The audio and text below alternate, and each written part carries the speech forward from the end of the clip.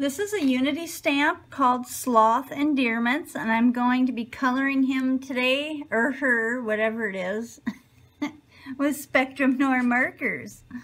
So here we go.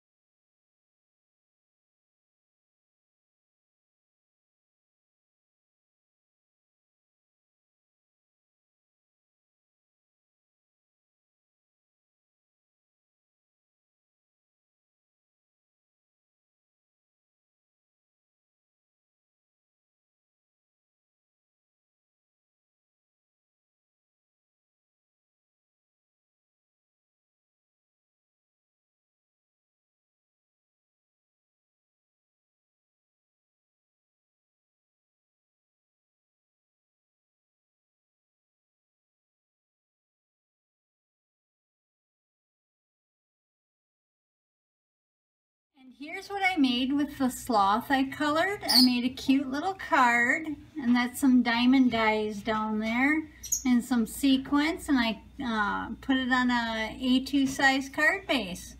So thanks for watching. Bye.